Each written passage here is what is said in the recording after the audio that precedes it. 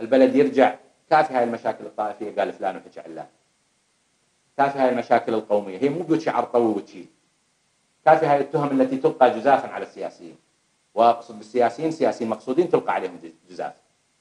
جنابكم إعلاميين وتعرفوا أنا خلال السنتين الأخيرة أدفع ضريبة لهجوم إعلامي آه، غير آه، غير طبيعي.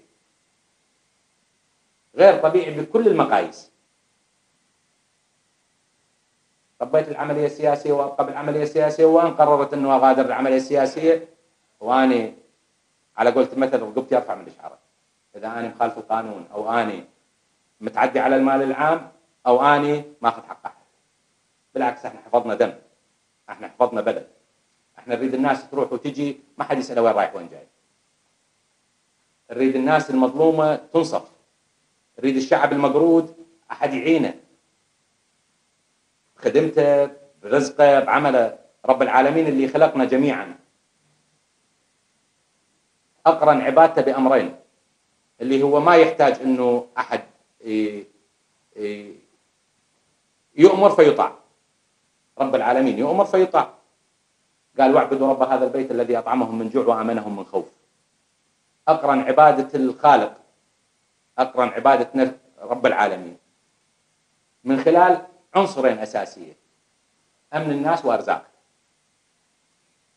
أفضل مسار اللي رسم لنا يا رب العالمين أنه نمشي على هذا المنهج أنه نحفظ أمن الناس ونسعى لرزقهم. غير ذني تفاصيل. شو يريد المواطن؟ يريد آمن ببلده حقوقه مصانة وعيش تماشي يدخلون في مشاكل بين الحين والآخر. الهدف منها خلق أزمة بين بين نسيج مجتمعي كامل. إيهام الناس إدخالهم في متاهات. كل واحد من عندنا يحترم صلاحياته وكل واحد من عندنا يحترم مسؤولياته وكل واحد من عندنا يحفظ أمانته ويتصوب المسار فعلى الجميع أن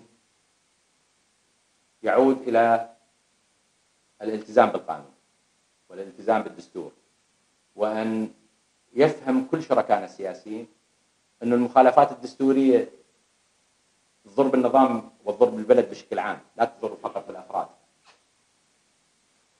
لأن لن يبقى أمر حاكم.